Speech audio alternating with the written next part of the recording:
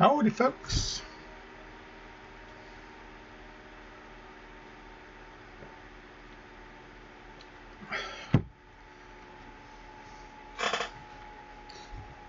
Uh, for those watching the stream, I apologise, I'm slightly late. Had some last minute streaming issues.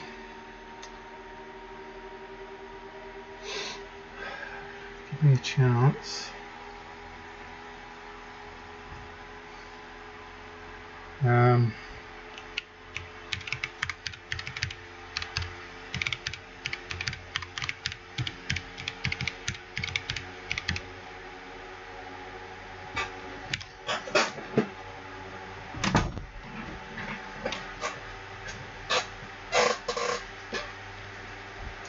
how is everyone? I'm ready. I've got my tea. I'm probably going to um, stop this about nine. That's the plan. Let's see how we go. See if I can do two hours. Now, oh, hi Laurie. Thanks for telling me. Audio's good. Sorry about the fan noise. It should be slightly better with the uh, lava mics, but you can still hear it, I'm sure.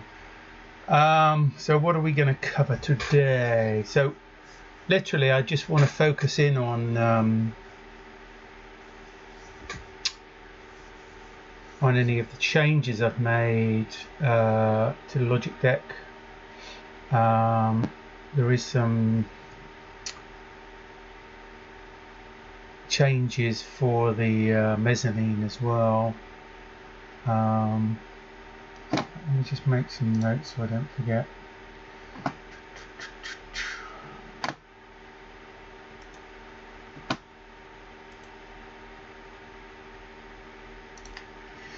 Must I remember?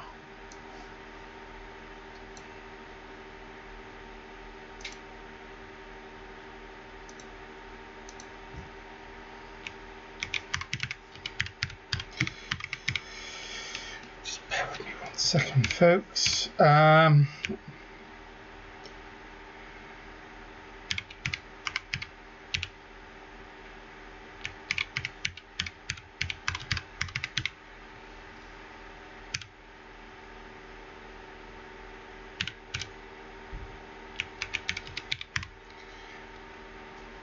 uh,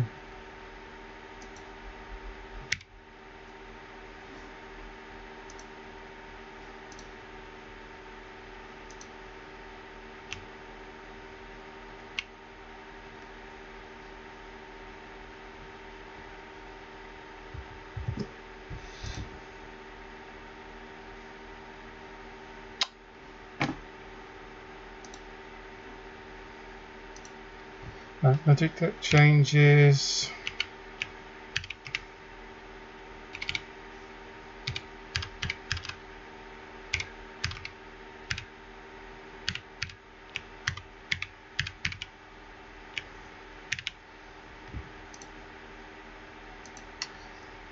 And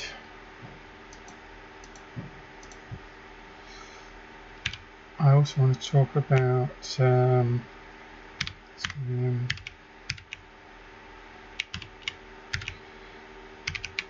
foot.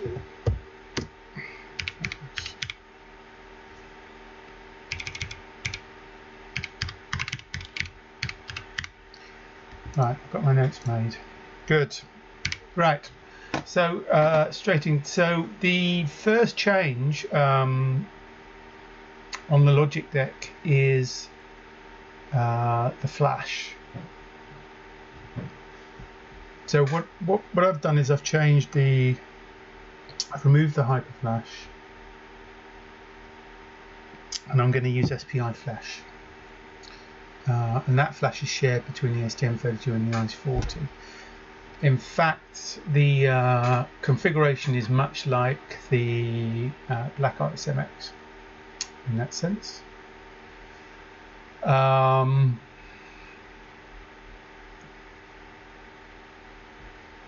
the reason I've changed it is it makes it more accessible from the existing um, HDL that already has the kind of SPI flash support. It doesn't have the hyper flash. Um, I'm likely to use the hyper flash on the next gen ECP5 boards, by the way. But um, on the ICE40, I'm going to stick with the SPI flash.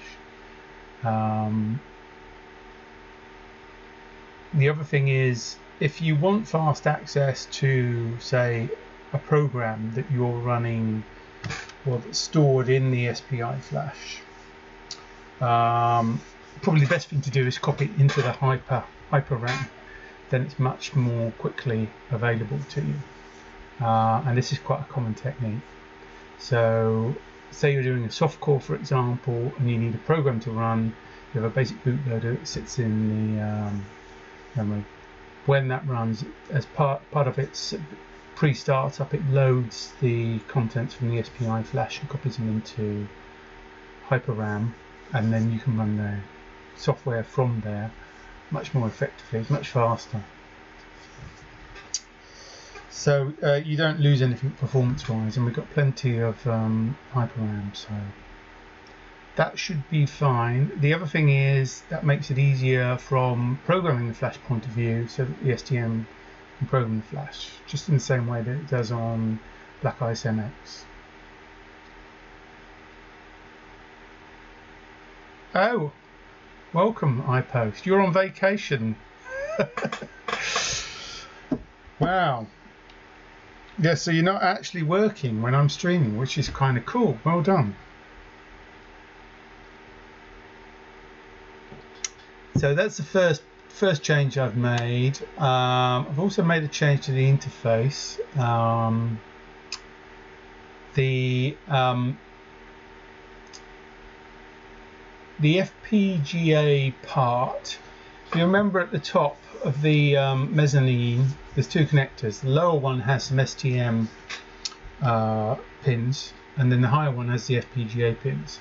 So I've changed that now. So all the pins that are available um, on the PMODs, as well as the four extra ones that drive the LED and a spare one, those are now available on a 24 pin uh, uh, 1.27 pitch header which is part of the top mezzanine connector.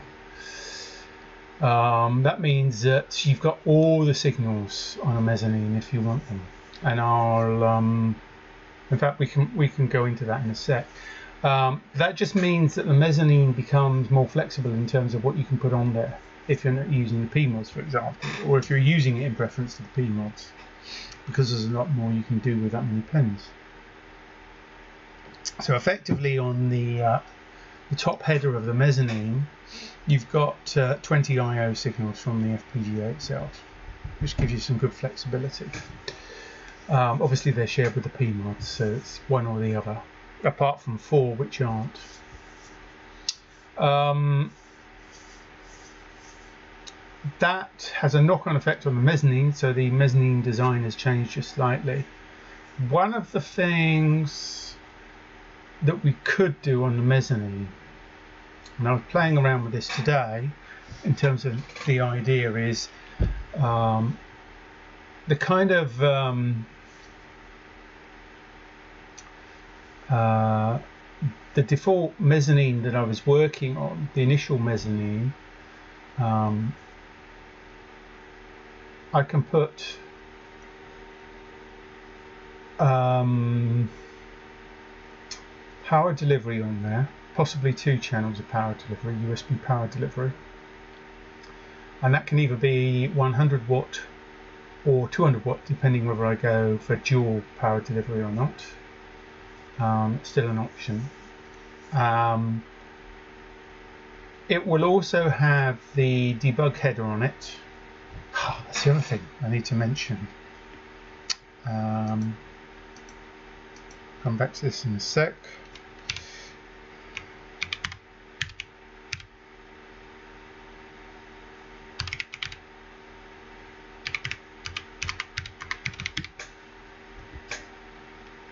Um,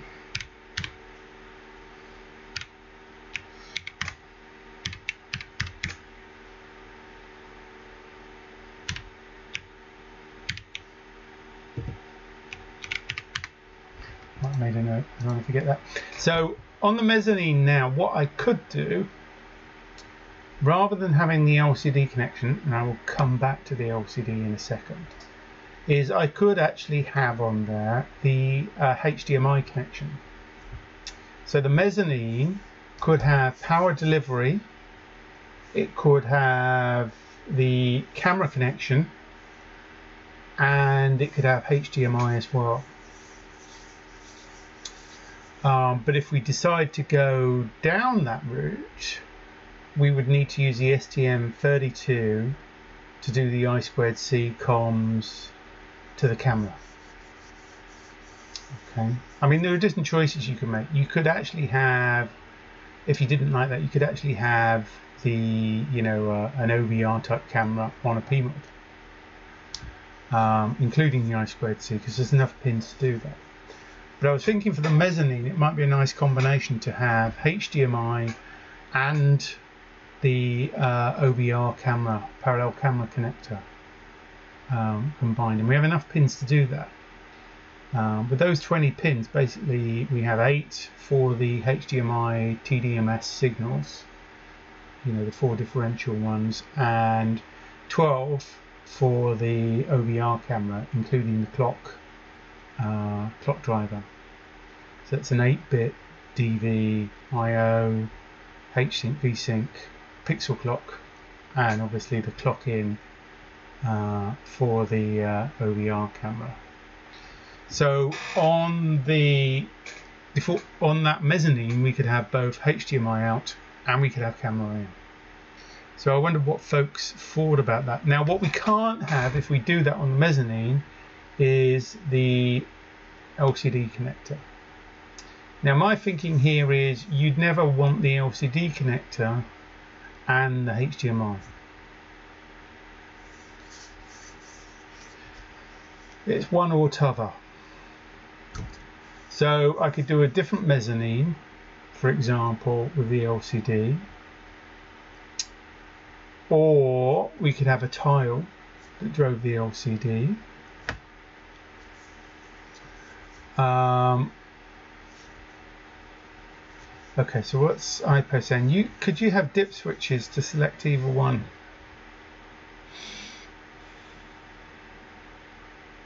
Oh, I was looking at this earlier. I post the issue. A dip switch might work strangely. Um, the issue is to get the to switch between the LCD and the HDMI, the LCD would have to use some of the HDMI data lines.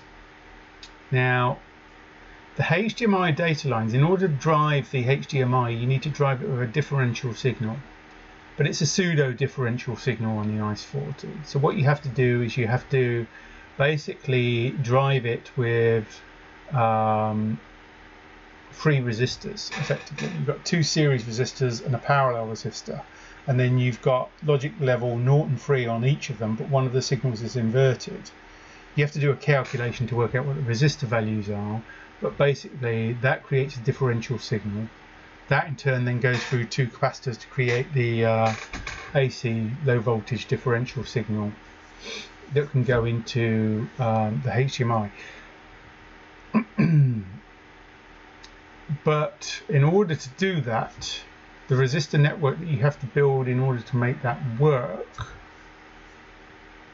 um, if you're using um, I was going to use uh, I was going to use um, a protection chip to separate the FPGA from the HDMI signal to make it safe. Uh, it also does things like changes the uh, 5 volt signals down to 3 volt free for the HPD detect and all of that kind of stuff in the um, I squared C um, but it needs that differential input. That means that those eight, eight lines are basically uh, joined as four pairs by these three resistors on each of those four channels. And of course, if you've done that, if you've joined two two lines with resistors, uh, you can't easily use that to then one individual lines to drive the SPI display. Um, but if you had a dip switch, you'd need an 8 pin dip switch to isolate the HDMI.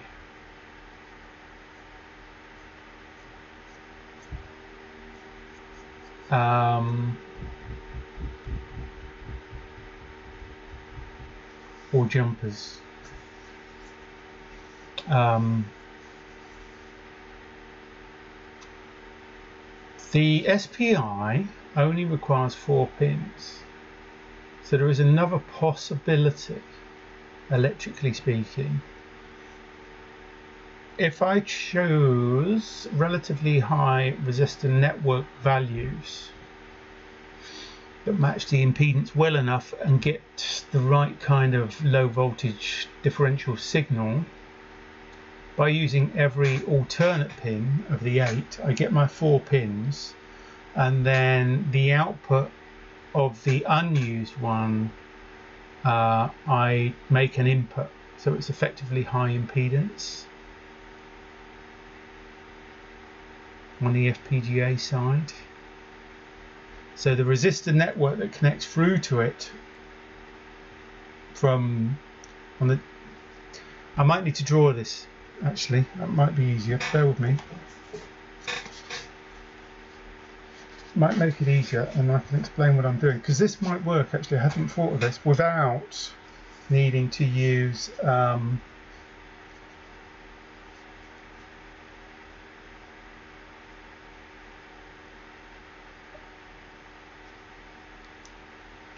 without needing to use dip switches.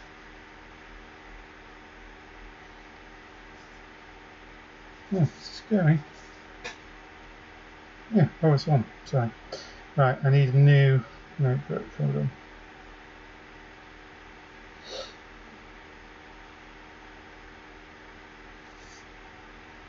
on. Uh,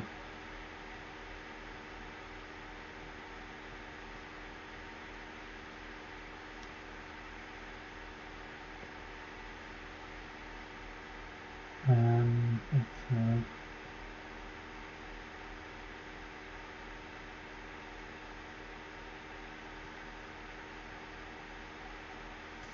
Let me just share this, bear with me a sec. Uh,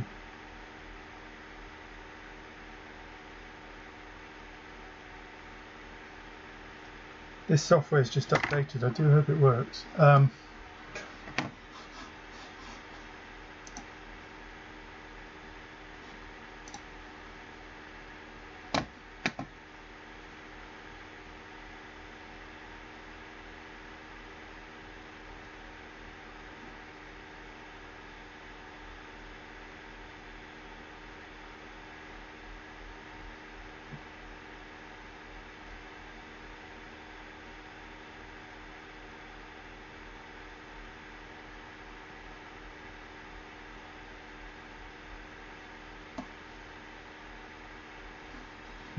Give him a strange comment.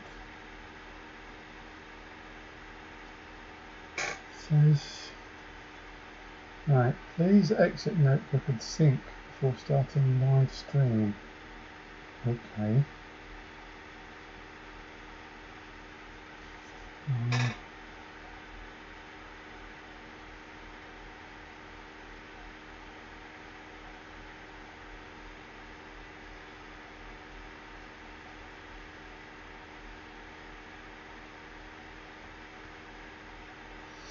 Me just restart this thing because it's just updated. So, um, whilst it's restarting,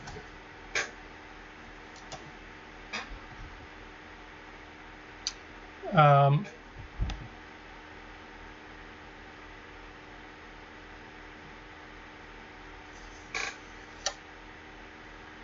Laurie saying, I'm not sure what your current plans are for the LCD. You were going to use the 24 pin ST7789 LCD, but now you're talking about using just four pins.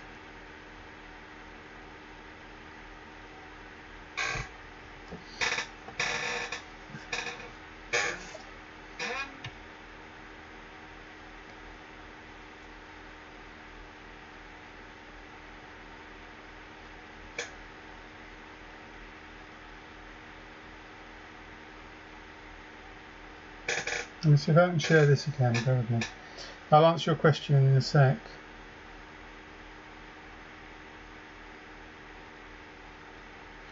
Oh, I don't want this. How do I quit this damn thing? It's taking me on a tour of my own device. Um,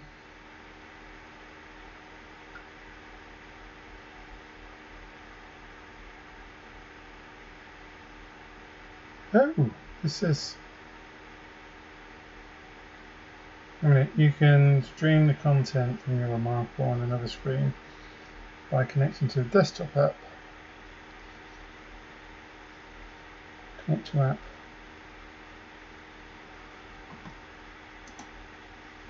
Well, this may even be better than normal, folks. That'd be good, wouldn't it? It was a bit crappy before. So let's see. Bear with me. Let me just switch. And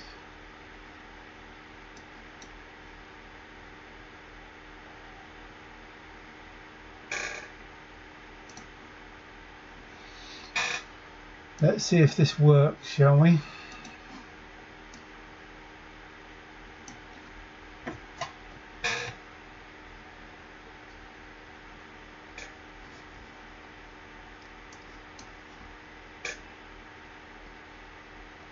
Yay. Okay, so um, right. So to get the differential signal, what you do is effectively on the um, on the um, ICE40s you have this kind of arrangement here. So these are the pads on the chip. And you have an inverted signal and a normal signal. And then what you do is you have a resistance on each side. And then you have a parallel resistance. And then you take the signal out like that. You know into your 50 ohm uh, diff signal. And you have to calculate what um, RS and RP RP are so of course, if I now want to use any of these signals, say I want to use this one, um, that is now linked via the resistors, two lots of RS and an RP, to the other pin. However, if I make this other pin here, if I make that an input, then effectively this has high impedance.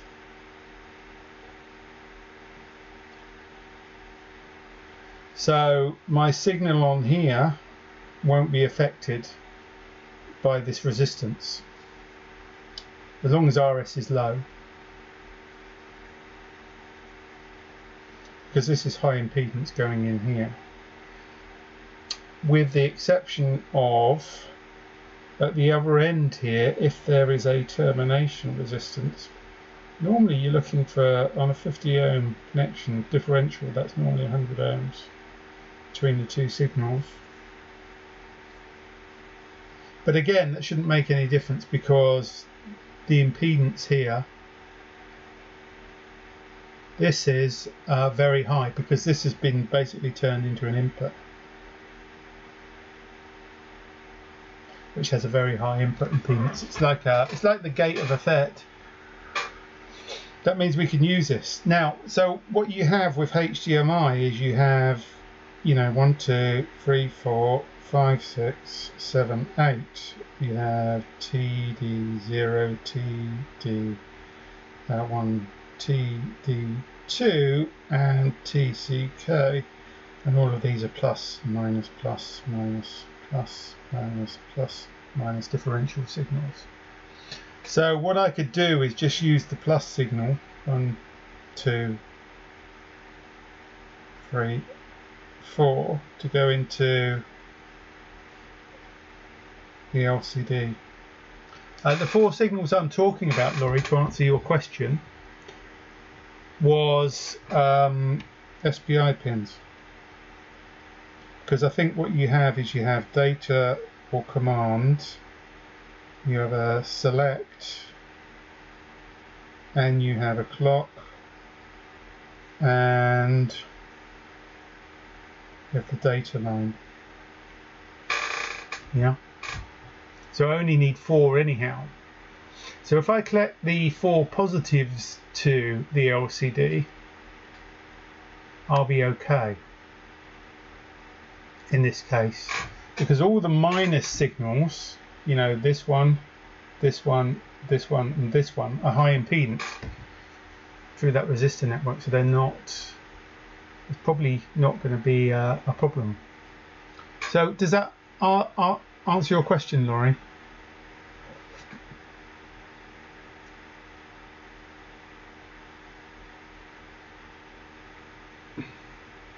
The res pin, that's just reset, right? You're talking about?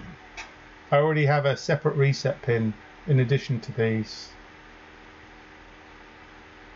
I think it needs a CS. Uh, uh, from what, what I remember, Laurie, it, it definitely needs four pins to drive those LCDs. It's like SPI, um, but because your you, your data is bidirectional. You know, I've got RES, RES as in reset.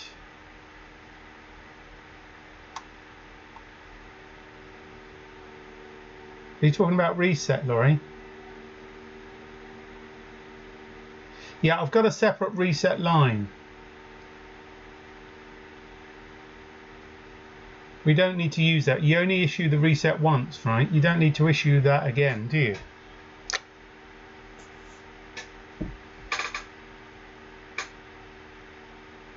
I'm using the same reset line I'm using on the tiles. It's a common line.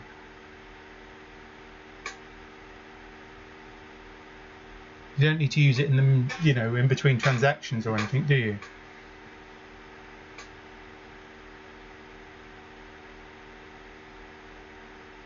Often only work with compl complex. You mean complete reset? Are, are you saying that we need to reset as we're going along, or can we? No. Timing of reset is important. Okay, right. Expand, Laurie. Maybe I missed something on this.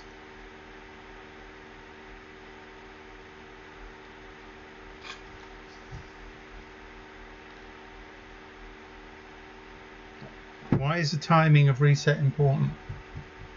With respect to what exactly?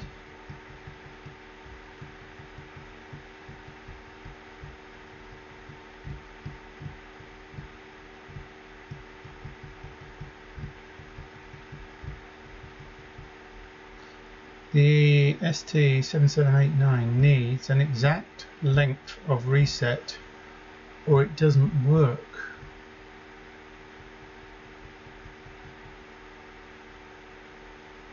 often needs two resets. Oh,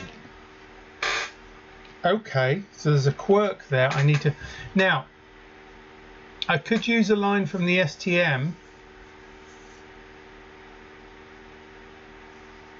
but I'm clean out of FPGA lines in this particular example. Okay, so this is a some undocumented behavior that requires it to be um, reset.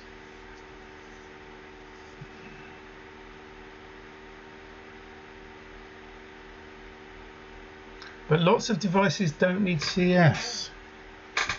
Um, right. I mean, we could use a CS line as a, as a reset if that's the case, but are you sure that that is the case?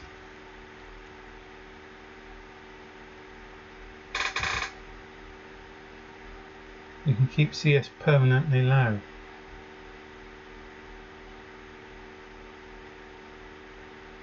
Maybe that's why you got reset problems.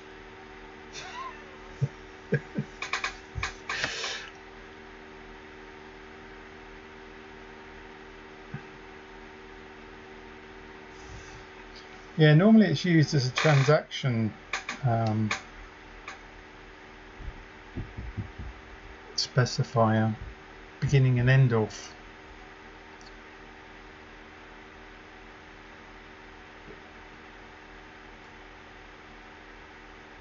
Uh, this one definitely has one.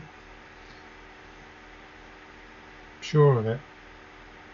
Um, now the other thing is we can take a line from the STM32, a specific reset signal if we need to. I might have enough spare lines to do that.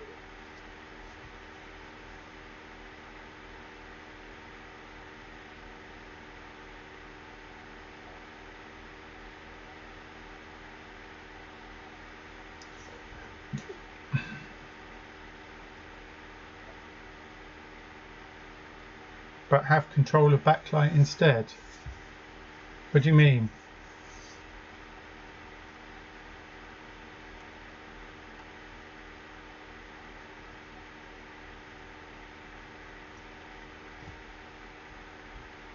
Are you saying you want control of the backlight, Laurie, from the STM32?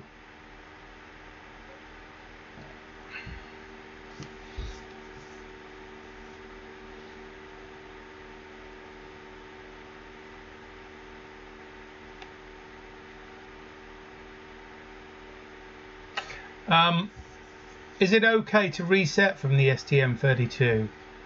We can make it whatever length it needs to be.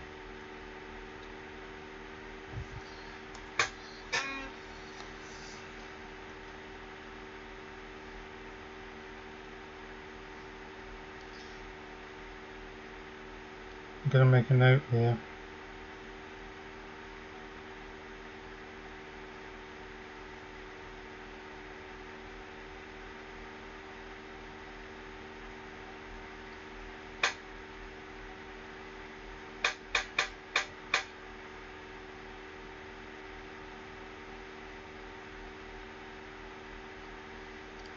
Okay, so that wouldn't be any good. Ah.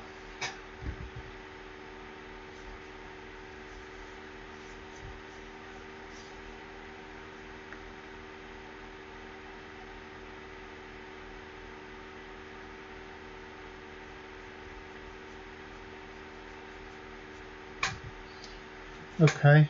Um,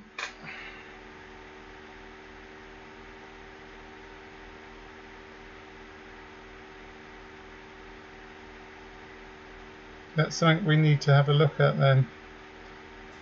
So the question is, can we um, sacrifice CS for reset?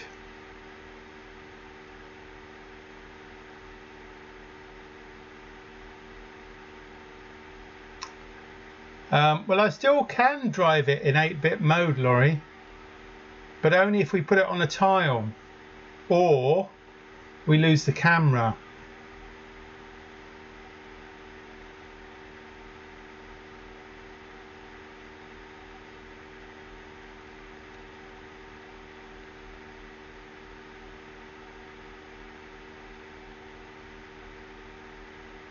We can do parallel LCD if we want, but we can't do that and the camcorder as well on a mezzanine board. The only way we could do it is by separating one or the other onto a tile. The number of pins just doesn't add up. If you've got you've got 20 pins available on the mezzanine connector from the FPGA and you need 12 for the camera for the OVR.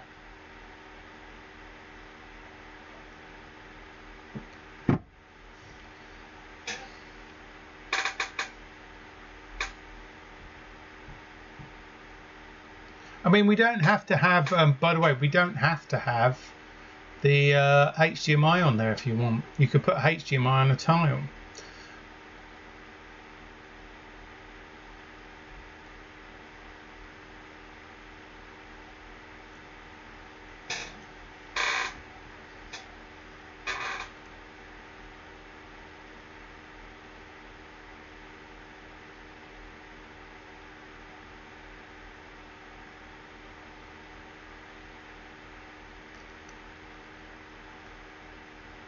So Laurie likes the HDMI on the mezzanine. What do you think I post?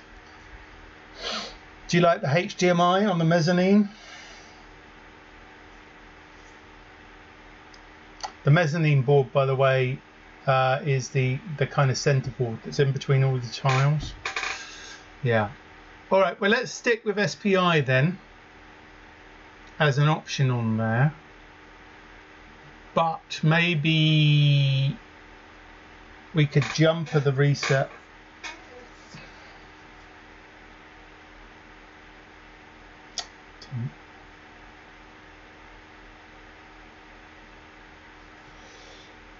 Maybe jumper to CS.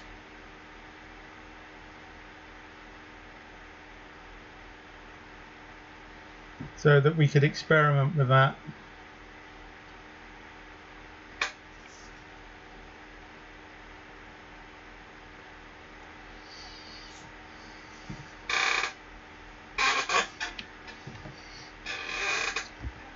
We, will need to go through a revision anyhow.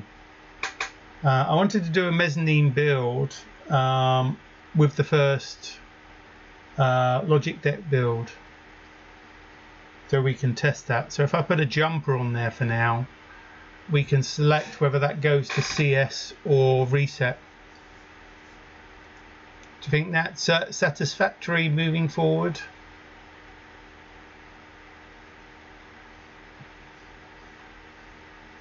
And I'll try and integrate the uh, HDMI as well. Although I've just realised I don't have any HDMI connectors.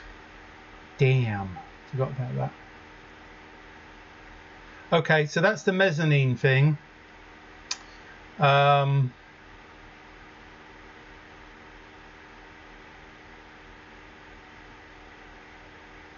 yeah, I posted saying I personally use uh, the CS a lot, but it isn't critical.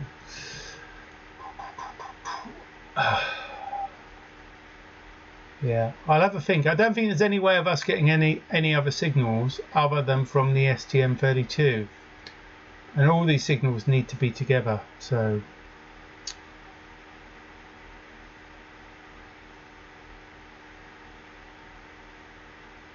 We can experiment with trying the STM as well. Maybe I can put an STM jumper in there.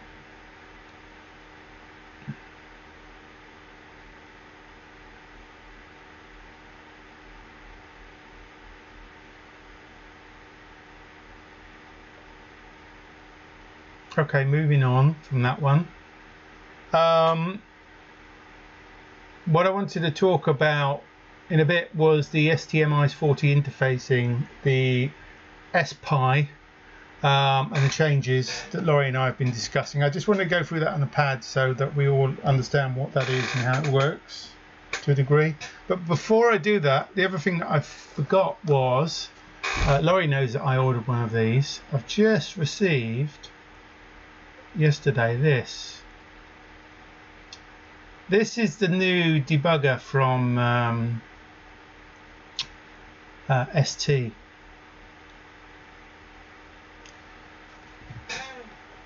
I got it from DigiKey. It was $35 I post. Good value. And you can extend it. But let's have a look inside because what you get is pretty pretty awesome. So I'm just going to take the screws out and stuff. So that's what how it comes. And you build it yourself, right? It's actually two boards. And there's there's an optional other board as well that does level shifting and stuff. But here's the thing. So the the basic board is installed okay and you've got a connector on the bottom for your JTAG see if get that to focus and it's one of these tiny ones. Hold on. It's a teeny tiny one.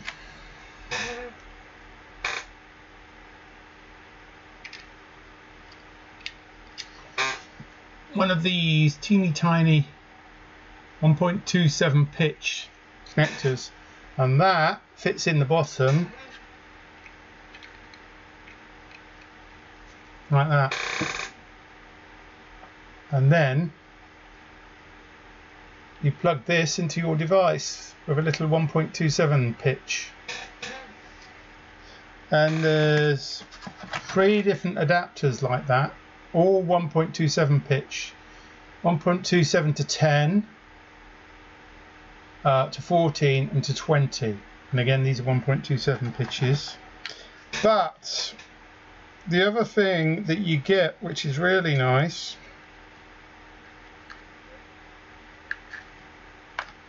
is you get this other board.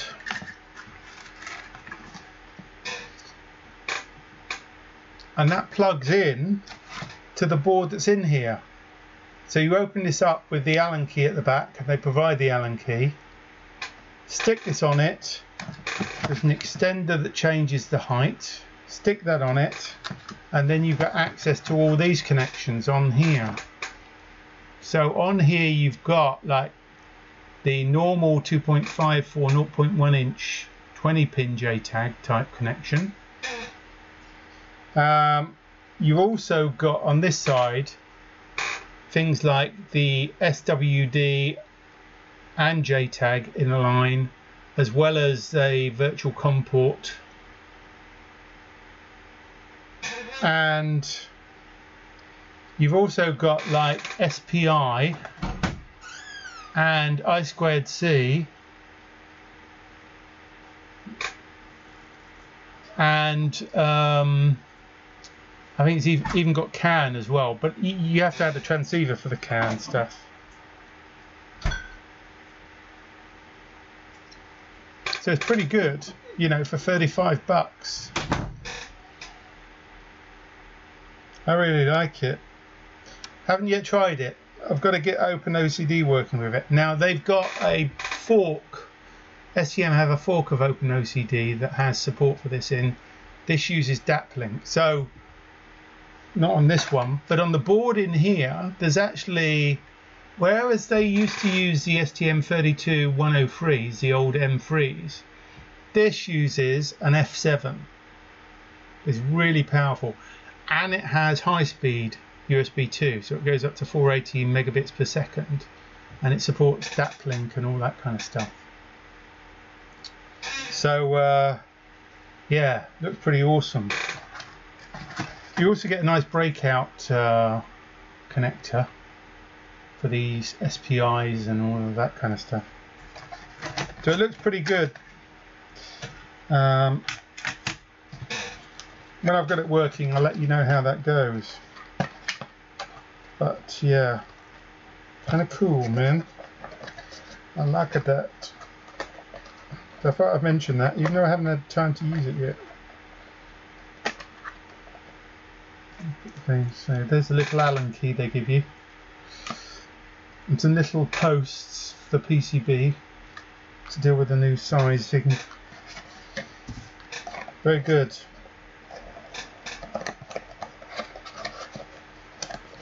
So I'm going to have a bit of fun playing with that soon. I'll let you know how it goes. Um, back to normal transmission. Right, so what I wanted to cover next... Oh, I'll give you a link. Yeah, hold on. Uh, uh, I don't have my browser running.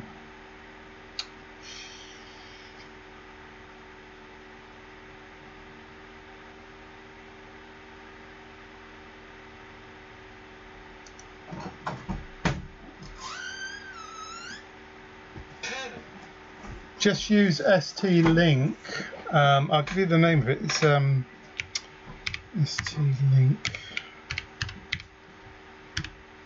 V3 uh, V3 V3 set, I think. V3 set. I, I will dig out a link in a bit. I don't want to run the browser yet because it's going to steal all my memory. And I don't want to do that whilst I'm running remarkable. but it, I found it on. If you if you search for that term on DigiKey, you should find it. Um, post. It's uh, I think it comes up first time. I think it did when I um, when I um, when I searched for it the other day. They actually sent it really quick as well, which is cool. Uh, I think I ordered it on Friday and I had it in the UK by Monday, which is amazing. So back to the um, if I look at the thing here, so I need to I've added the maybe I need to add one more note also STM jumper for the reset. Um, right, so next what I wanted to talk about was the um, STM ICE 40 interfacing. So let's just bring up a new page for that.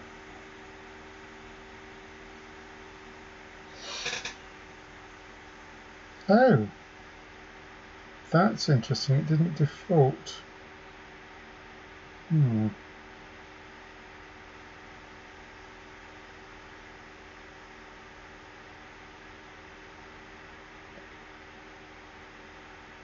Oh, I just can't see it very well in this light. It's annoying. So, let me just remind you, uh, if, if you know the Black Ice MX, you're probably already somewhere here, but let's just, just draw up here. Uh, I'm just going to change the template because I can't see the dots on here, it's really annoying. Um, choose that. So basically we have here the STM32 Now what we have between that and the ICE40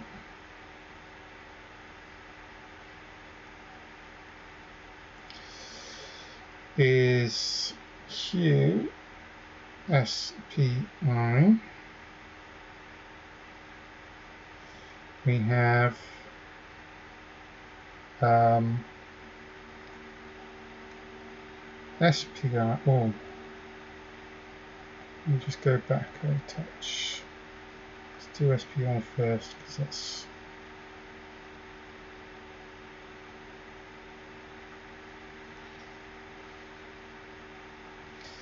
So we have SPI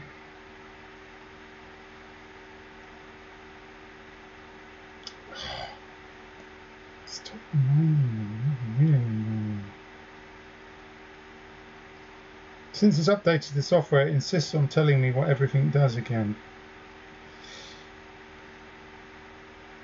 yes, thank you for telling me what Penstrokes does.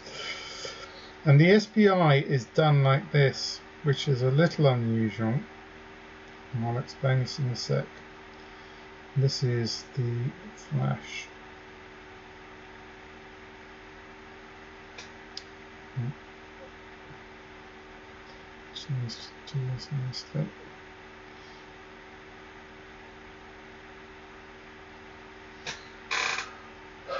So basically the flash sits between um, the uh, STM and the ICE.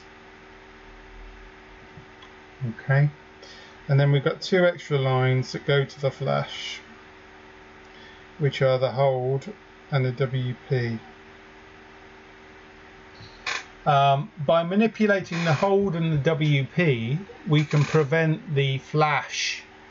Uh, we can we can take it off the SPI bus effectively. That's what we do. We do that in Black Ice MX. So the advantage is, so when we set this correctly, we can then have a conversation with the flash whilst holding the um, ice in reset because we need the reset signal as well. Okay, so if we hold the ice in reset, we can um, write to the flash. And then we can release the hold and write protect on the flash, which then enables the ICE40 to read and write over the SPI to the flash. So what that means is we can write an image to the flash that the ICE40 can then boot from. Okay. Um, but we can manage the flash as well, which is kind of cool. The other thing that we can do here is we can use the spy to actually program the ICE40 on the fly. If you're familiar with the Black Ice MX, we use this all the time. So when you're uploading and you're in the normal mode, you haven't pressed the mode button to change it into flash mode. When you're sending it a binary, it's it's basically resetting the ice and reprogramming it dynamically without changing the flash at all. And it's just faster as well. Um,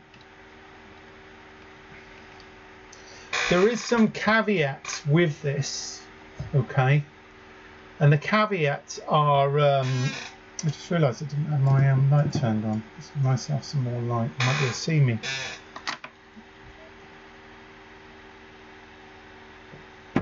Now, if you think about it, when you wire it this way, uh, where the STM is the master and the ICE is a slave, which is what you need if you're reprogramming the ICE dynamically, that also means that the wiring for the flash swaps uh, MISO and MOSI, or serial in, serial out. Those two get swapped around which is why we have to bit bang the ICE 40 when we're programming it dynamically on the Black Ice MX. And then we can use the SPI directly, the SPI peripheral inside the STM32 to write to the flash. Uh, when I thought about this afterwards, I thought maybe I'd got those ran the wrong way. Um, because programming Flash is difficult anyhow because you have all these waits because you have the erase cycles etc so it always takes longer. Laurie saying does this mean we have to do bit banging again? Well here is the good news right? Uh, when I was digging through the F7 um, and H7 Rust drivers because we're writing a new Black Crab uh, firmware in Rust, then I found a great little feature in there, which I haven't yet tested. So this is still subject to testing, which is where you can actually swap the functionality of the MOSI and Miso. So I'm hoping that there won't be any bit banging involved moving forward.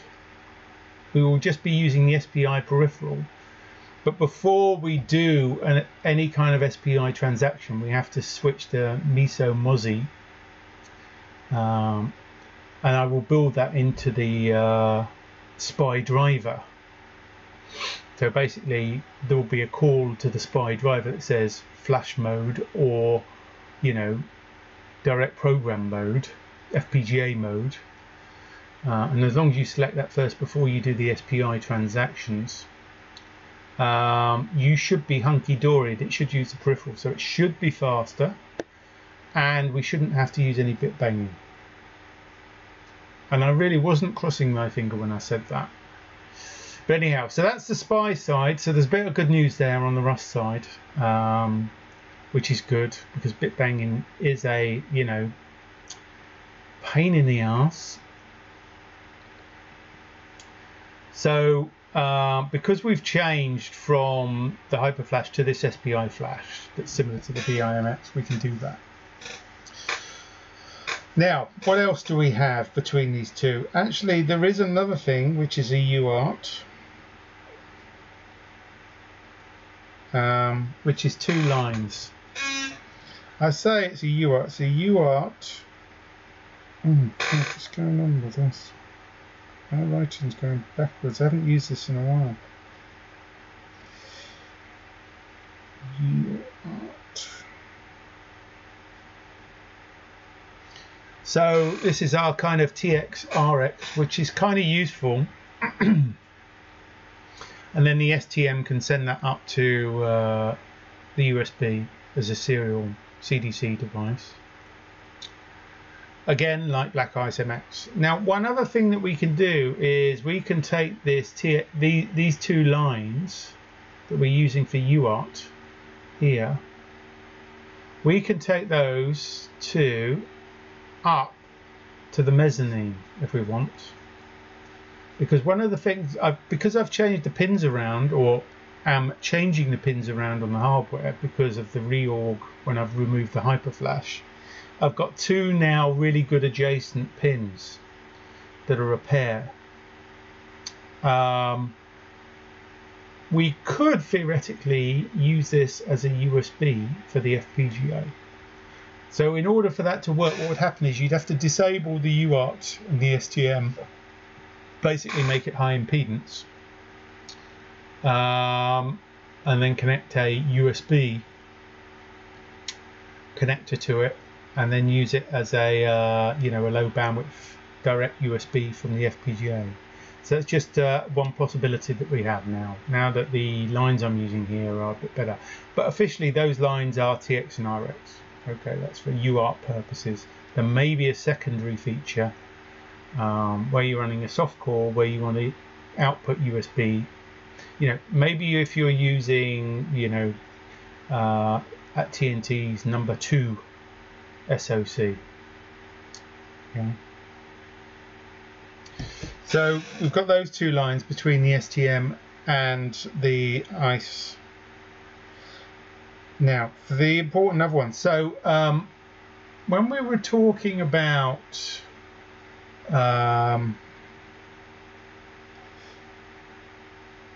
S P I E Q S P I E or Q Spy or Q's Pi as I like to call it which is QSPI with events. Um, when we were looking at this uh, when we were looking at this previously on the last stream we had QSPI link.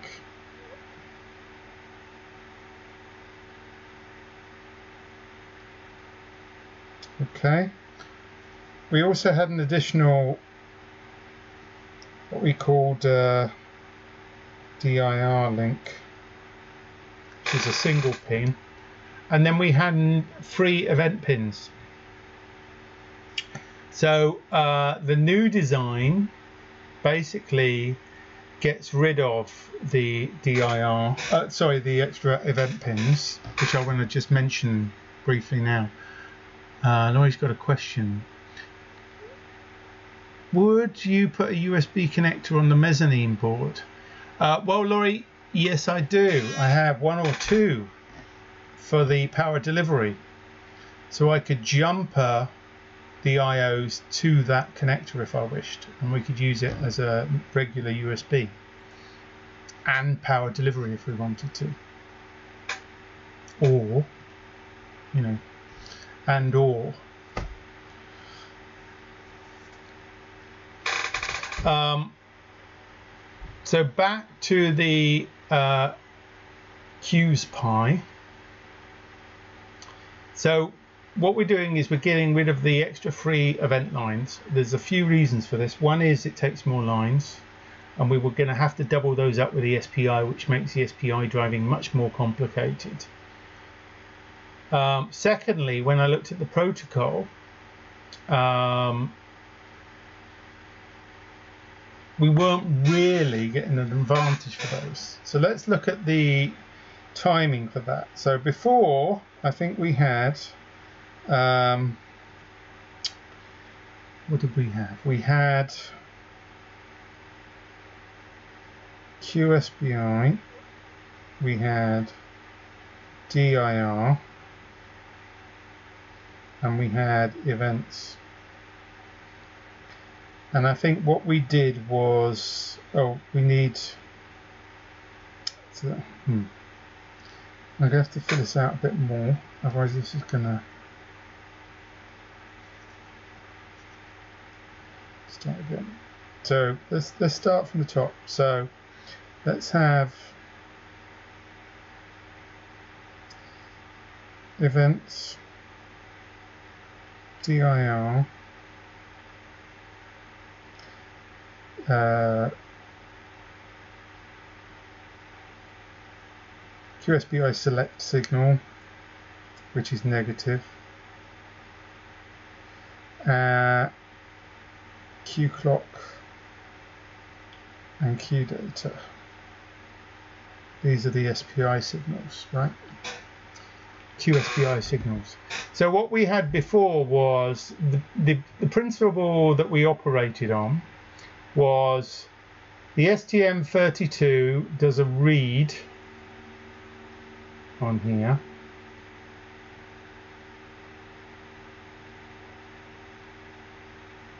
on the event pins. Well, wait a minute, sorry, let me get this right. Uh, the first thing it did was it checks the direction pin. So the QSPI, uh, the STM wants to send something. This is the uh, one that we were most worried about. So it checks the direction pin to make sure that the ICE 40 hasn't requested that it sends something to the STM. And if so, it does a does a read check on DIR, and if that's okay, and it doesn't see that the ICE 40 has started or is asked to send something, it then does a read on the event pins to make sure that um, an event ID hasn't been placed on the bus, which is what the ICE 40 would do if it was starting an event. Um, that because that's taken up two clock cycles already, effectively. Um, so that's a kind of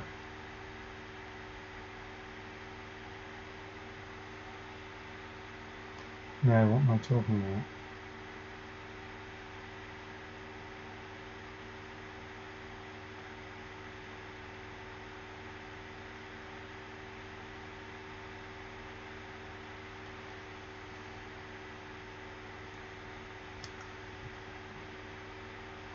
Okay.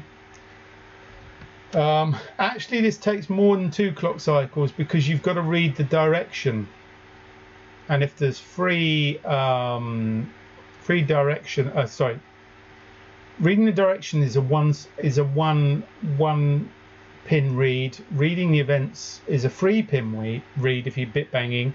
If you can sort out groups where you read a bank and then master group, uh, that can be done in almost the same time as reading the direction. But it, the minimum is two clock cycles. It probably takes a bit longer than that.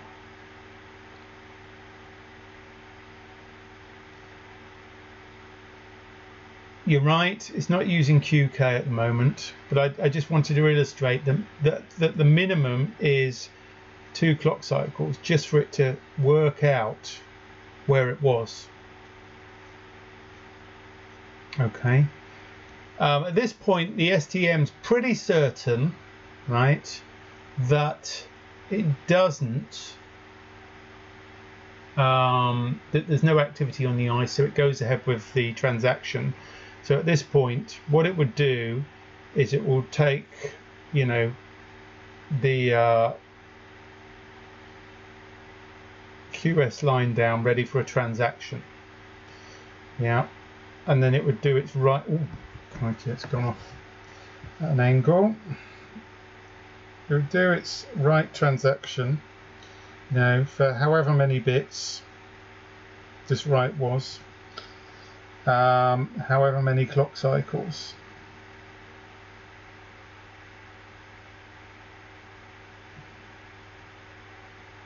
etc.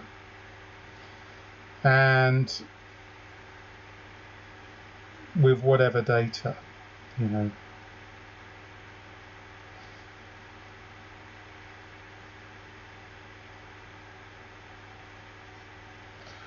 So, um,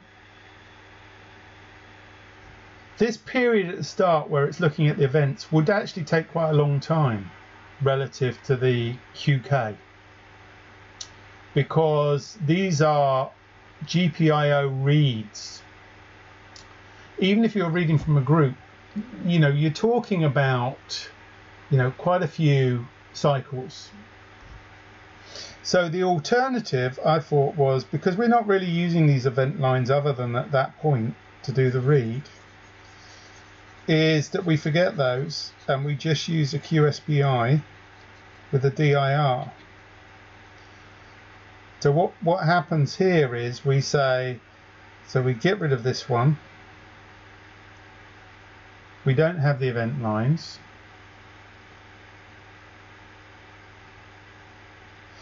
And then what we do is uh, it checks the direction line to start with, which is the same as before. It then starts a single cycle read transaction. And it reads whatever the data is. And this is, in fact, um, what, what, said, what we said was this could be a single byte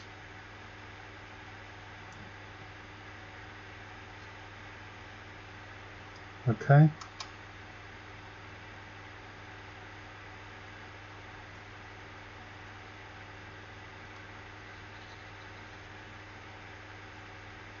so that will be two clock cycles effectively if it was STR it would be two clock cycles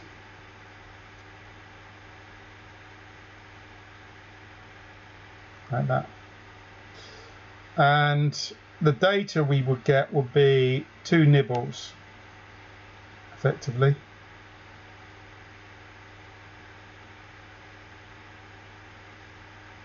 Like that.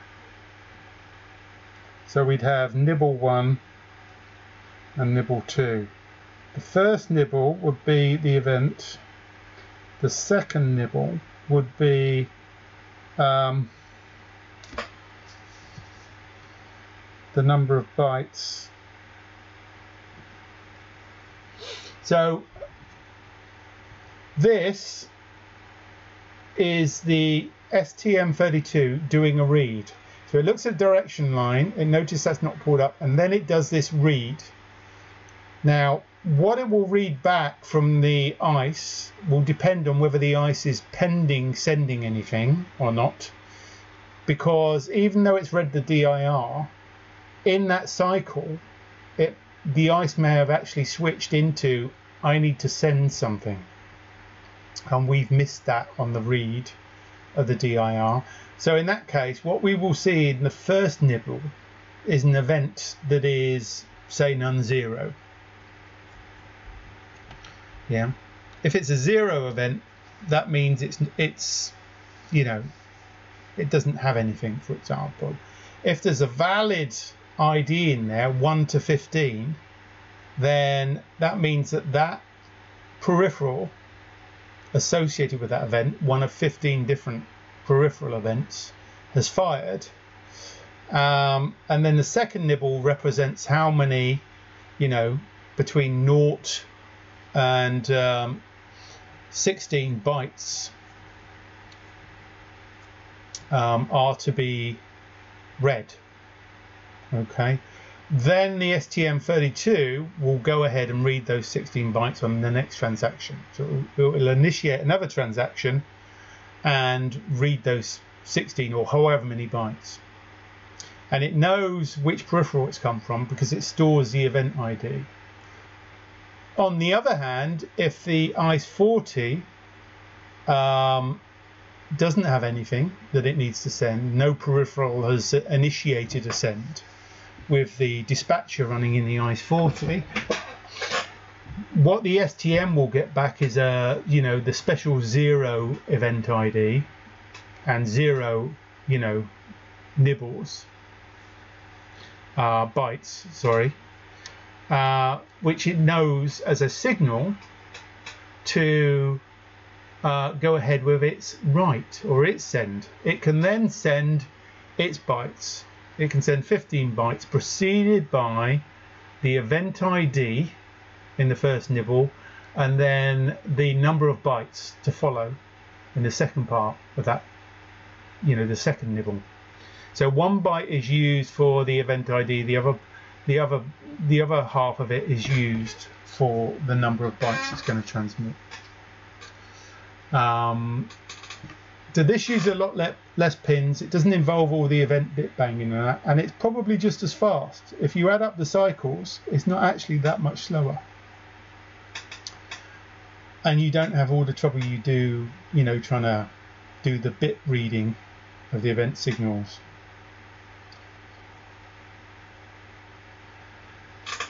And what's more, you don't have to, you know, multiplex the SPI lines with the event lines or whatever we were going to do before. So that's the way it works. So I wanted to explain um, how that worked, really. Have you got any questions? I mean, I think Laurie understands all this because we've had these conversations. But um, I guess you don't necessarily understand or know all the details. You, you, you've probably picked up some of it from the previous streams, I guess, I post.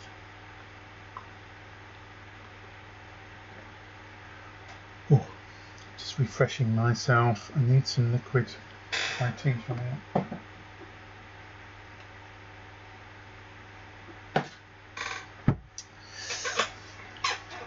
Somewhat. Um, do you get what we're saying now then? So basically the packet, right, between the uh, STM32 and the ICE40 is headed by um, a kind of uh, the destination or source, which is the first nibble, and then the number of bytes that are going to follow in the transaction in the second nibble, and then obviously the number of bytes involved, whether that's the STM32 reading from the ICE or writing to the ICE. Yeah, this, this, this is the way that the STM32 and the ICE40 are dynamically communicating. Um, you know, normally if you were using like a, uh, a soft core inside the ICE, then that would probably have a wishbone buster, peripherals, etc., and there'd be an addressing mechanism. But in this, this case, what we're doing is we're using QSPI as that communications medium between the STM32 and the ICE40 so that the peripherals that we've designed in the ICE can be interacted with by the STM32 dynamically uh, with a relatively low latency. That's what we've designed this to work you know with and actually you know the large transactions uh, you know say 16 byte or 15 byte transfers are all done in DMA as well. So they're not actually necessarily interfering with the STM when it's doing these transactions because it's all using DMA I mean um, so iPost says uh, the STM is a proxy then well, it's kind of like that. I mean, we did when I first looked at this, and when uh, Laurie and I looked at this, we were thinking of having something like a wishbone, and then the QSPI act as an interface to the Q, to the wishbone. But in reality, that increased the latency dramatically because all of your QSPI reads and writes have to have, you know, complex addressing built into them, which is more bytes that have to be sent in front of every piece of data not only that, but the turnaround time, i.e. the latency when the STM needs to respond to a peripheral inside the ICE, we wanted that to be as, you know, relatively short as possible. Um, hence we've got, you know, this um, QSPI, as we call it, um, which is the protocol that we're kind of operating between the two, and it's it's minimalist in terms of trying not to waste too much in terms of control bytes and nibbles that are sent. We've kind of minimized those fundamentally.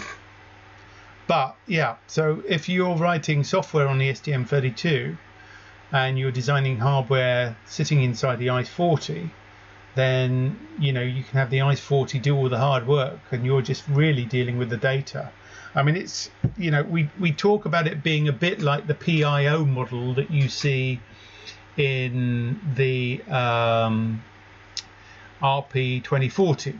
That's kind of the analysis that we used here. We try and make the peripheral semi-intelligent so that really it's just exchanging data with the STM. It doesn't have to be quite as handheld as say a peripheral would be on a bus with you know uh, softcore that needs all of its you know status uh, register flags and all of that being handled in real time. And there's lots of register reads and writes that slow things down.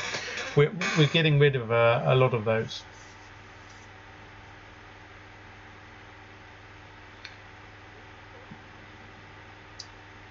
Um, iPost says, I guess this would be fast enough for cameras. It may be. I mean, it depends what you mean. Are you talking about taking the raw camera data or are you talking about taking, you know, a process resized data? You know, raw data, I think you're going to flood the QSPI and you probably wouldn't want to do that.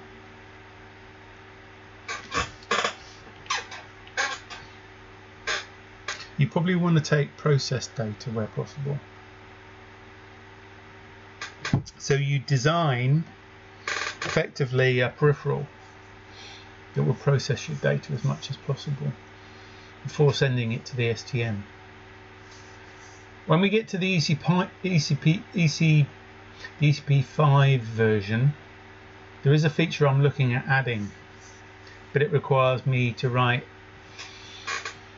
basically a streaming interface. Um, you know, basically I can I can do the dots. Separate streaming interface, and we can do that on the ECP5 because we have the IOs to be able to do that. Also, we'll be using a slightly different microcontroller but all that's hush hush, not there yet. Because obviously, in that sort of example, you may want to be able to stream the entire contents, you know, of video raw data. But that's a different story, and we're not there yet. I mean, you can move quite a bit of data over this the um, QSPI will run. If it's running STR at up to I think 108 megahertz. Um, so that means it's delivering you know a byte every 54 there's 54 megabytes per second if you're using DDR, you can actually run it up to effectively 80 megahertz, so not as high, but if you had the DDR working, and I would like to get that working later, then you'd effectively be transferring a byte with each clock, you know, on both edges. That's what the DDR mode is for. So in that case, you'd effectively be running at 160 can't. Yeah, 160 megabytes per second. So that is your upper level. Um, so you could certainly do the transfers of data, but by doing so, you end up flooding the bus. So if another peripheral wants in on something, it has to interrupt that process, which you either enable or you don't. Um, hence my thoughts on maybe having a separate streaming bus later on with ECP5 that enables us to do, you know, have our cake and eat it, so to speak. But as far as uh, this goes, you know, you will probably want to make a compromise. You probably wouldn't want the video taking over the QS, you know, the, the Q's Pi bus because it's going to flood it and with video you might want not want the interruptions but it is possible but again you might want to cut down on what data you're sending do you really want to send the raw raw data to the STM32 or do you want to send something more useful? You know, like area of interest type information, for example. You know, because the ICE 40 can have calculated some of that stuff for you. I don't want to get deep down the video uh, processing um, uh, conversation because that's that's something that we want to do some work on but we're probably avoiding until next year really. Let's get the base stuff done first on this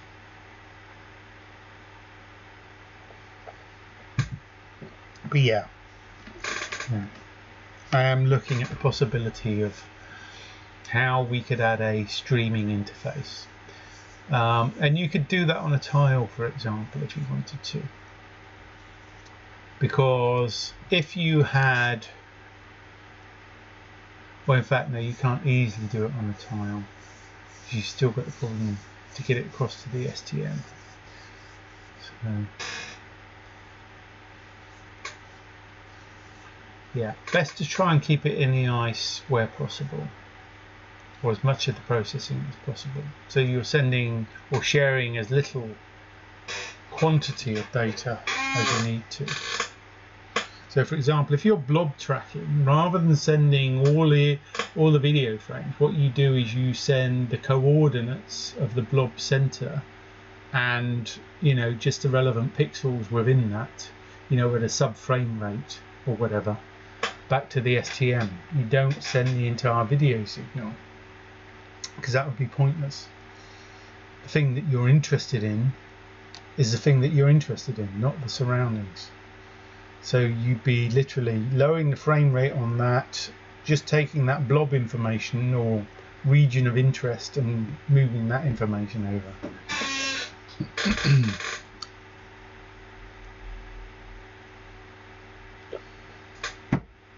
but anyhow, moving away from video. Um, any other questions on the um, um, the QSPI that we need to cover?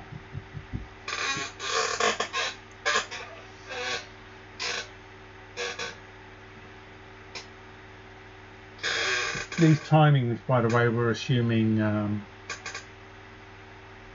uh, STR.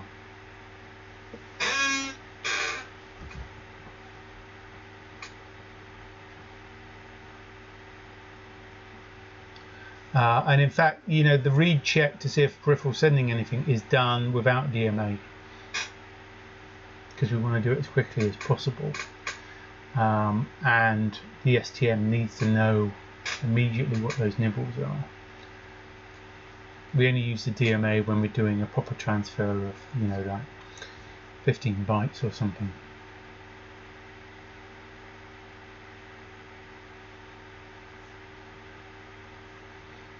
Oh, have you thought of something, um, Laurie? Hope you haven't thought of a hitch.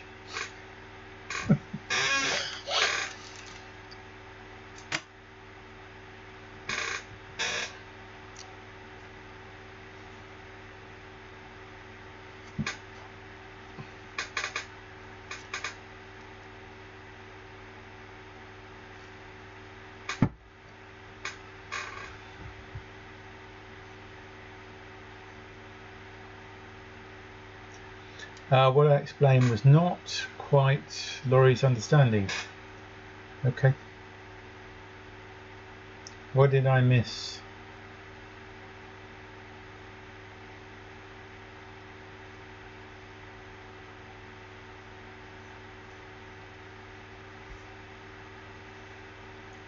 I don't mind talking about it now, Laurie.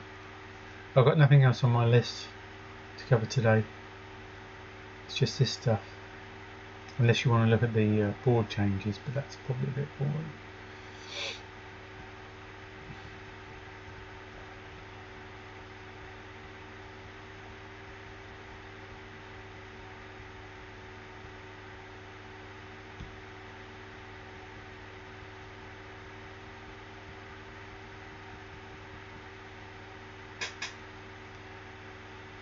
I mean, we can do it on Discord if you prefer, it's not a problem.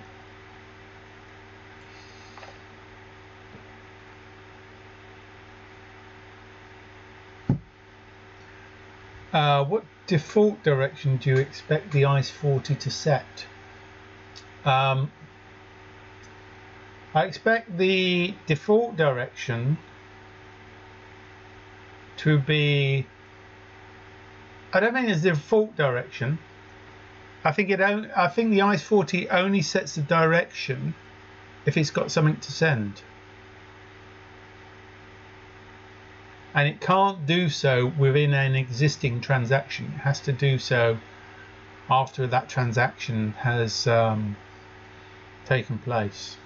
It can't be changing the DIR in the middle of a transaction. So the direction in the idle state is ready to send.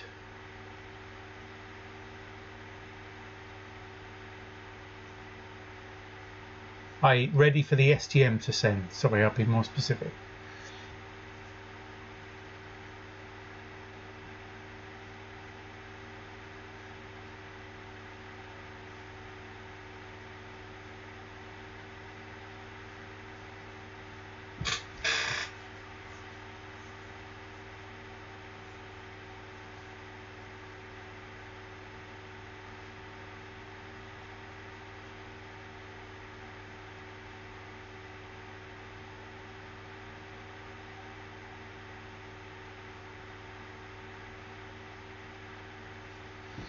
Okay, so it's not consistent with my explanation. Okay, so yeah, I'm, I was showing the corner case, so let me just explain what I'm saying here. Oh, damn it. I often do this with my fingers.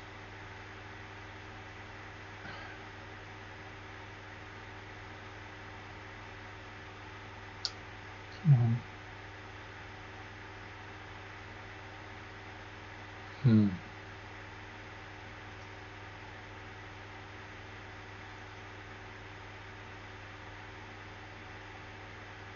Oh, stop explaining it to me. That's really annoying. Right. So, um, in the case I've shown here, when it's doing the read of the DIR line,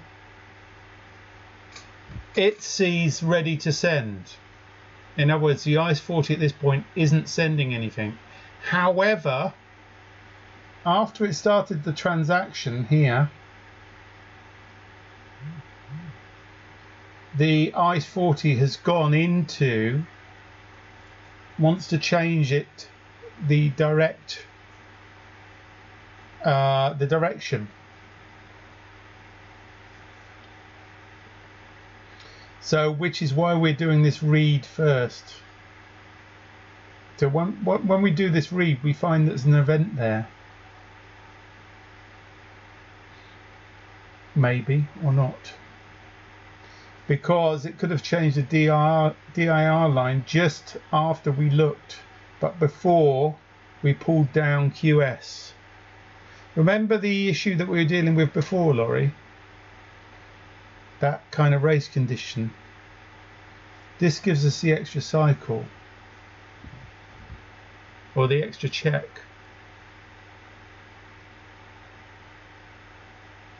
So in other words, you know, the STM doesn't move directly into trying to do its write. It do always does the read first before it does a write.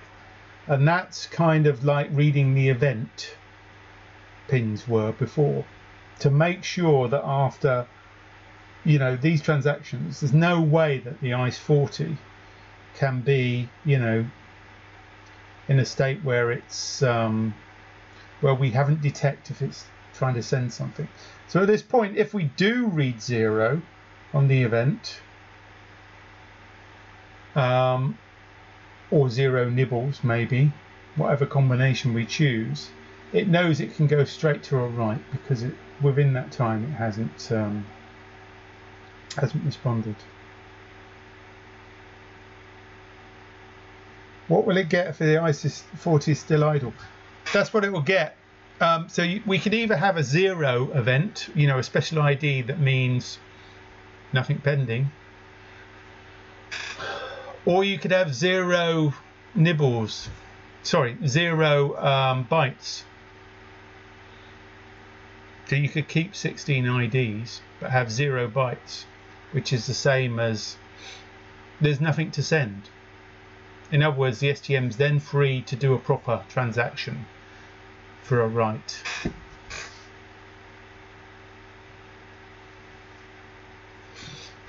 So on the ICE 40s, it now knows that a write is coming.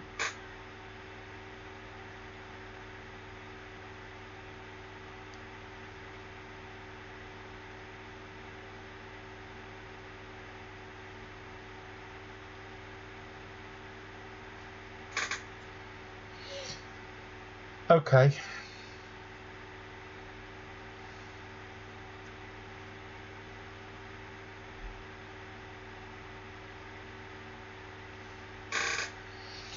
It was at idle, and when it does the read of the events and the number of bytes, it's at idle. But as soon as that read transaction has ended, the ICE 40 must move into a receive mode because the STM is about to send.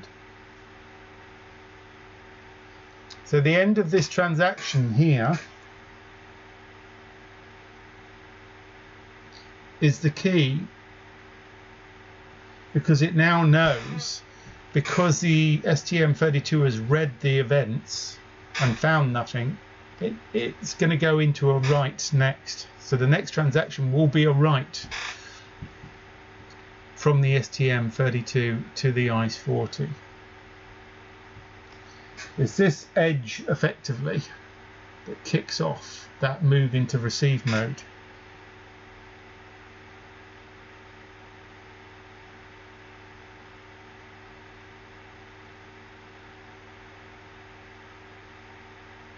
Okay. Yeah, we can discuss this on Discord and go through it. This is this is the equivalent to reading the event state that we had before, where it would read the event um, the event pins. But instead of reading the event pins, it's read doing a QSPI read of a single byte or two nibbles.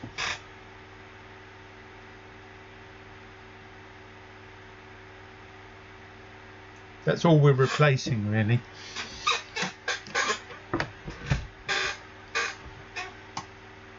Makes no sense to me. Okay. Well, we can do this on Discord, Laurie.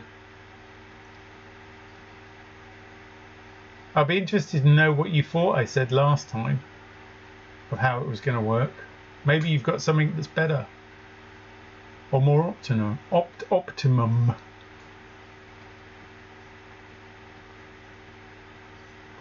What were you thinking it would happen? Just out of interest.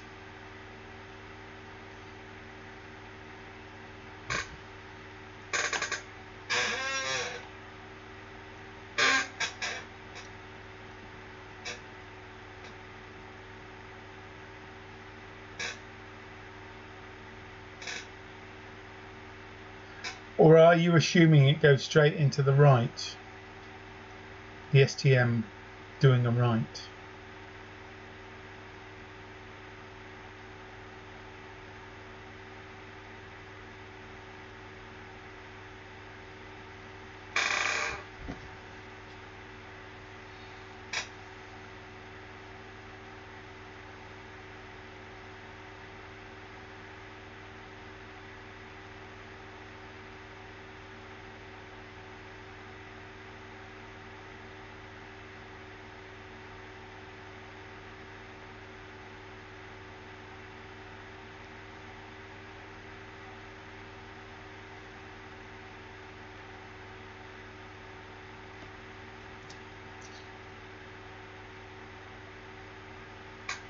Uh, we can cover it down on Discord, Laurie, and go through the steps. It'll probably be tomorrow, though, not tonight. Um, any other questions?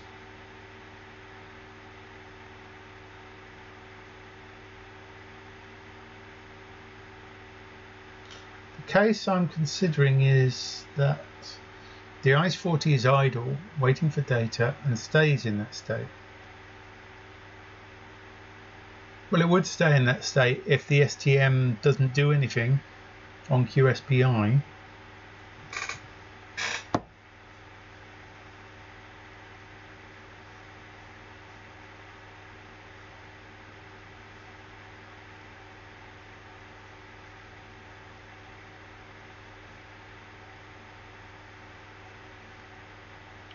You know, if the ICE40 hasn't got anything to send and the STM doesn't have anything to send, then it will just sit there in the idle state.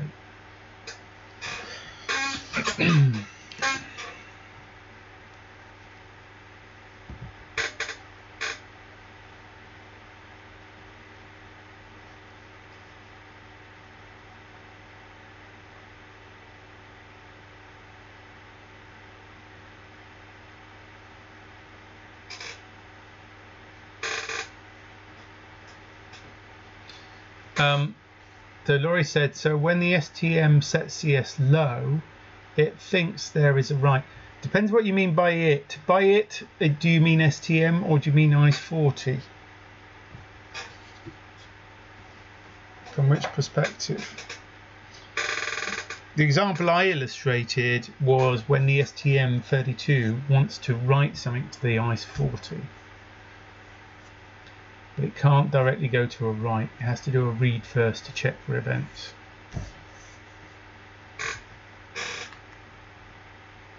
The ICE40 thinks there is a write. Yes, but it only realizes there's a write. Well, yeah, I mean, it could realize there's a write as soon as it uh, pulls QS low.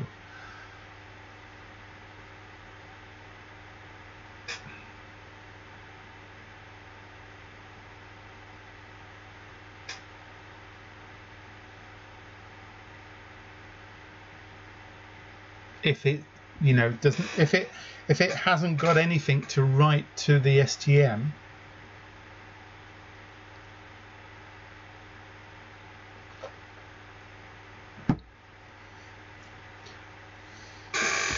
but what I'm saying here is that in this case right this is a prelude to a write because remember we had two stages to prevent, you know, it's like a handshake to prevent the conflict of timing. Uh, when the ICE40 suddenly decides it does have something to say after the DIR has been read. So here what I'm insisting on is that the STM does a single byte read over QSPI before it proceeds to do its write transaction you know so down here what you don't see is at some point it does a proper write you know with all the data that it intended to write.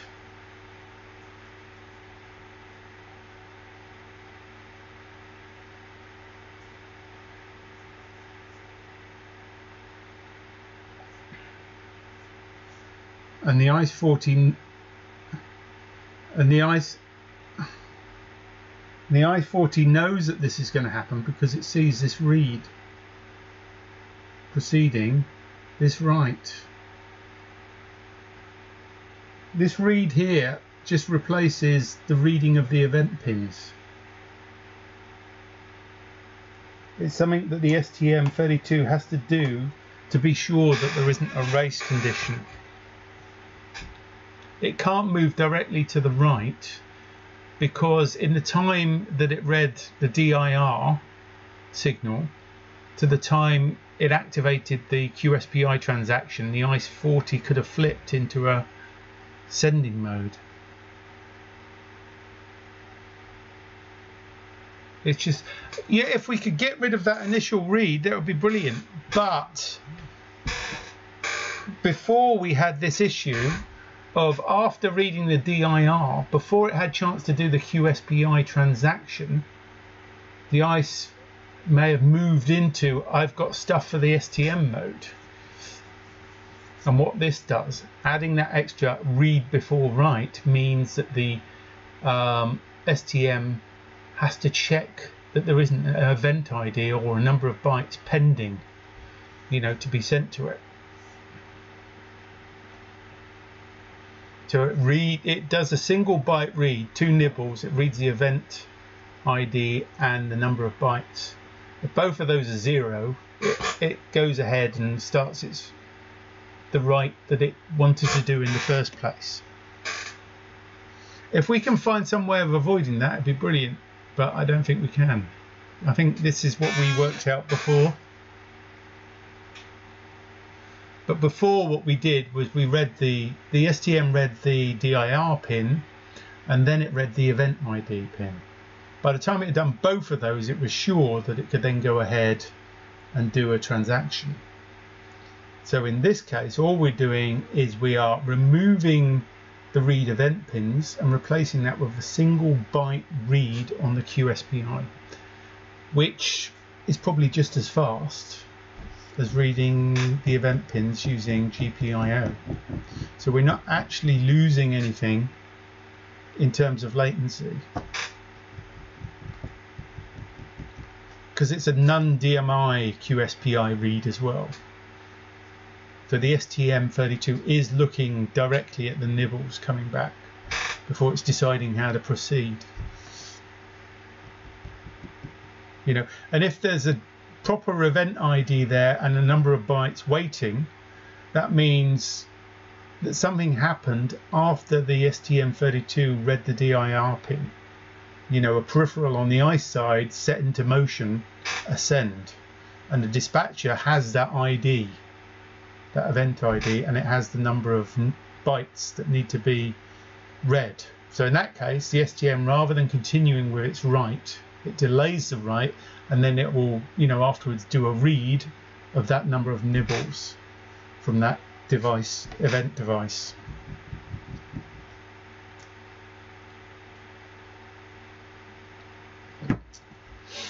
So this is a pre-write, pre-read, if you like, um, QSPI transaction.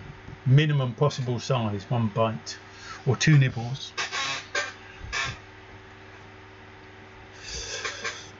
That way we shouldn't get any race conditions, I hope, unless you can think of something. And the other advantage by using a bite rather than a nibble is we get the number of bites as well. So we know how many bites we're going to pick up or we're telling the ICE 40 on our next write how many bites. We get the uh, best of both worlds, so to speak.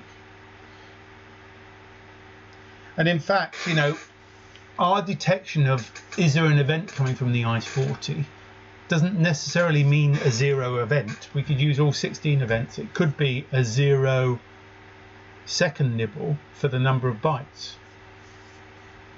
Because if it's trying to send zero bytes, that means it hasn't got anything to send, right?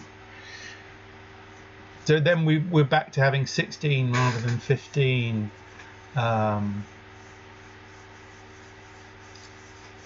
event endpoints, if you like.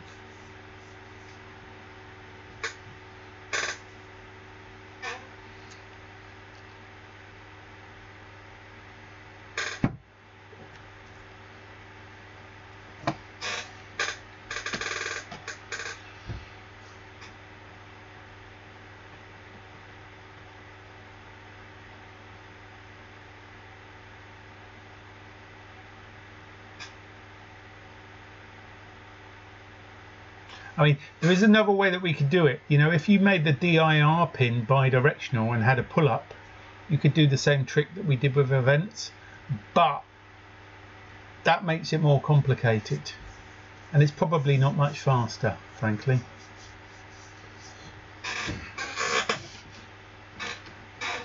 Uh, but it should make the logic on the ICE, I mean, it certainly makes the software easier, I think, on the firmware side on the STM32, particularly in Rust.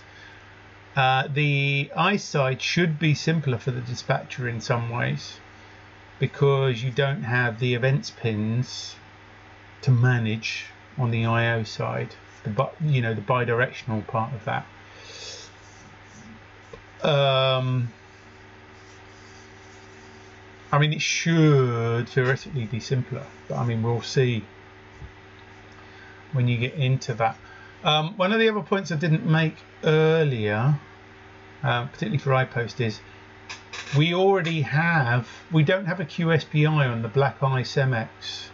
We have a DSPI, which is QSPI in 2-bit rather than 4-bit mode. Um, plus we have an extra CS pin between the STM32 and the ICE40. So what we can do is, in the BlackCrab software, what I hope to do, hopefully next week, is take um, uh, take the HDL from Laurie um, or a uh, future version of that that supports you know QSPI and DSPI and be able to run that on black ice. And then you then take black crab and add that code in to be able to use that. So we can actually test how this works um, on on black ice MX um, it won't be quite as fast because it's half the bandwidth because it's DSPI rather than QSPI, but the principles are exactly the same. So we can actually start testing this on Black Ice MX, which is nice. I mean, we, we struggled a bit uh, this week, or Laurie did in particular, because we were trying to use, we are trying to do it with the event pins and uh, poor old Laurie was doing most of this, and uh, he was trying to use the Arduino to do the code on the STM side, which was proving particularly difficult. Um, and in order to do it, what we what we were doing, we were falling back on using. Uh, I don't know if you were around when these were out, um, iPost, but this is the previous generation of the Black Ice. This is the uh, Black Ice 2 and this had this shared more pins between the STM32 and the ICE 40 and um, that enabled us to run the extra event pins. Or it, it, it enabled um, Laurie to do that and to try and experiment with it. Although um, you know Laurie got the got the HDL working and some basic firmware where we hit a bit of a snag was on changing the event pins and in Arduino you have to change each event pin individually. Um, and if you know the STM32s what you can do is you can change multiple pins at the same time if you want by writing directly to the registers. But of course in Arduino it's not quite that simple. And I think uh, Laurie did find a library that should have allowed this to happen, but um, it caused problems. So there was quite a bit of time in changing the event signal, and he had to change the HDL to cope with the fact that you know he was having to bit by bit change the event signal and stuff. Um,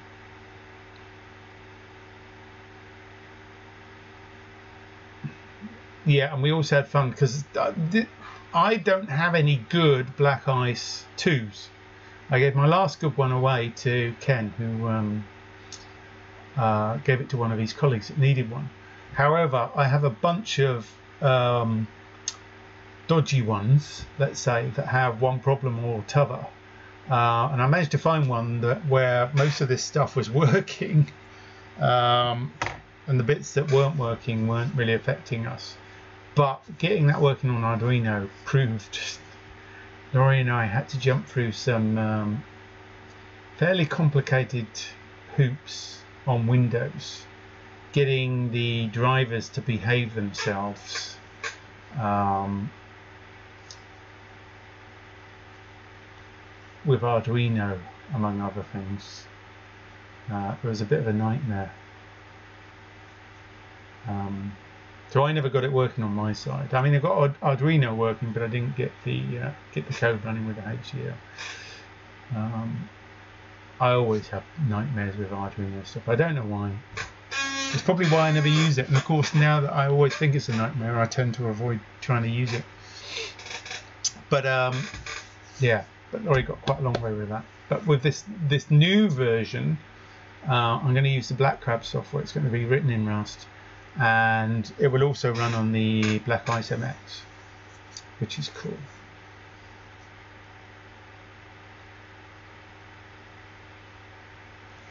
Right, my learning resource for Rust or resources. I mean, I've had a little bit. I mean, Rust is a bit difficult. Um, I mean, it's a nice language, but from an embedded point of view, it can be a bit tricky because it's rather different. Um, it's like having, um, you know, um, your compiler becomes your uh, code reviewer. It's one way of putting it. And it has things like borrow checkers and stuff. And getting that stuff to behave on the embedded side is um, tricky to say the least. And it, it's it you know it does the right thing but you you know we're all so used to being lazy and doing what the damn hell we like in C you know badly um, that when we come to something that actually knows what it's doing and is checking what we're doing with memory locations and that kind of stuff, um, you know, it becomes a bit of a quagmire as you're trying to move through it because you're still in the C mindset. Um, and in order to get things to work with the borrow checker and stuff, they've come up with a zero overhead scheme for GPIOs. Um, it's very smart, but it's you know it's not an easy learning curve to be quite honest. Um, I have recently found some stuff that covers it better, um, and I'm still kind of reading that, and uh, even that is not comprehensive. But um, when I've gotten through some of those other bits, I I want to make a um, a list of things, uh, resources that are worth looking at to try and make it easier to learn in the first place. Because I've kind of learnt the hard way. I've realised that. Uh, what? Why did I choose Rust? I've liked Rust for a lot for a long time. I originally looked at it. I wrote a bunch of tests in Rust, you know, years and years ago um, for some Ethernet stuff that I was working on on XMOS. But um, I like the language from a high level point of view as well. I love the communication aspects and the way it can be bent into a kind of CSP like um, approach. And it it's very good if you're doing concurrency, for example. It's got very good models and it's got great things and it's got pattern matching as well of sorts using the match statements and I love pattern matching. Um, so I've always wanted to do that on embedded. Um, and Rust enables me to get there. Um, but of course you're dealing with uh, hardware that hasn't been necessarily designed with that in mind. And that's half the issues that you stumble across when you start trying to understand the GPIO operations and the borrow checking and the safety and all the other bits and pieces um, because they've all been designed with C in mind and not with safety in mind quite frankly well the fallback plan is I can always return to using um, the STM32 HAL, which we all know and love. I'm sure he didn't detect any sarcasm. Um, but of course, I have no intention of using the fallback plan.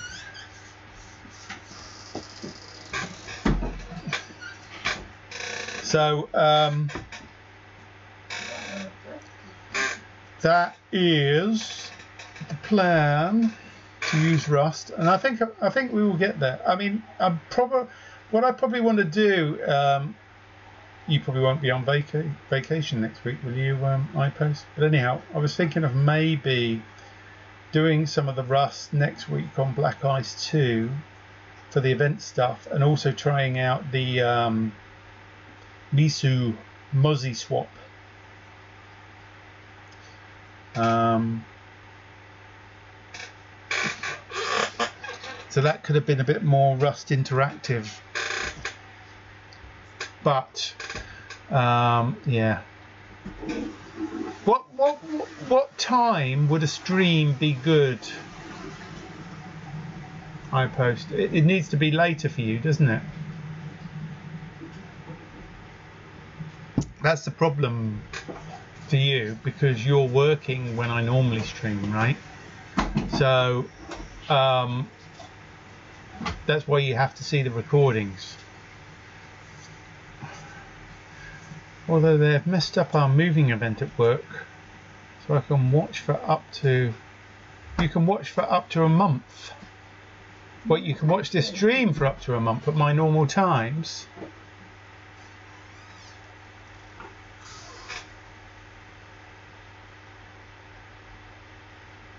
You can work from home for a month. Yahoo! So anyhow, yeah, I may cover some of the Rust stuff next week. Or at least from the Black Crab point of view, i.e. the new firmware side. The other thing we'll be able to do potentially is um, backport Black Crab to Black Ice. Black Ice MX that is. Let me go through Twinkles.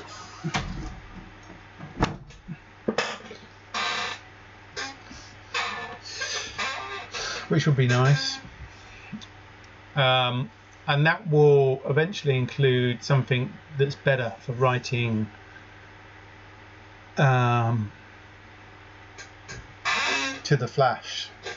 Something better than we had before with the STM32 HAL stuff. we were thinking about maybe adding a DFU mode, possibly, or a mass storage type mode.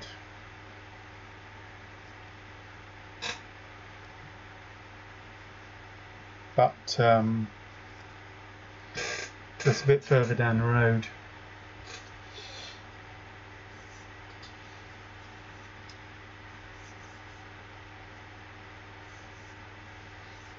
anyhow any more questions because if not I'm going to um, uh, end the stream now so I've got to get something to eat. I'm starving. And I've got a whole bunch of other stuff I've got to do this evening. Um, if not well the stream next week my intention is to do what is the date next week? Wednesday. Hold on let me just double check. 17th. Yeah, that should be fine. So I'll probably stream again, similar sort of time next week.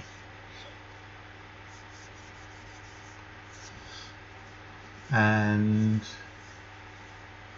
yes, maybe we could aim at doing some of the rust stuff, some of the black crab, black crab stuff, using you know the QSPI. And also our swapping of miso and MOSI that would be nice rather than having the bit banging. probably be faster any luck okay. Right guys um, I will see you all next week. I will obviously be down on discord probably not today but um, Um, tomorrow I will be on a um, Discord. I've got a problem with the forum I post. There's not much I can do about it at the moment. I can't get into the server. The person that's got the SSH keys has disappeared off the earth, I'm afraid. Um, so I have to literally replace it, which means reinstalling everything. um, which is a bit of a nightmare.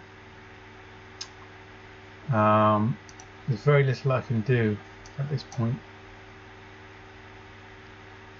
Um, my, I, I was intending re uh, rewriting the server parts in the new year anyhow, bringing up a new version of Discourse.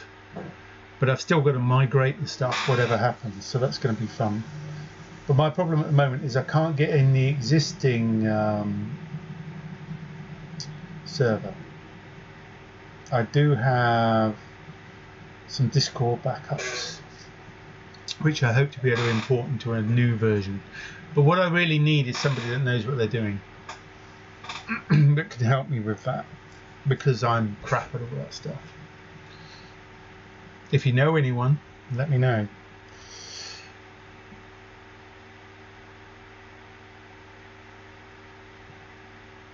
Right, guys, folks, I will see you all next week, or if not, down on the forum.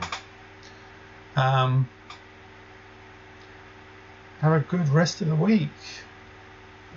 Ciao.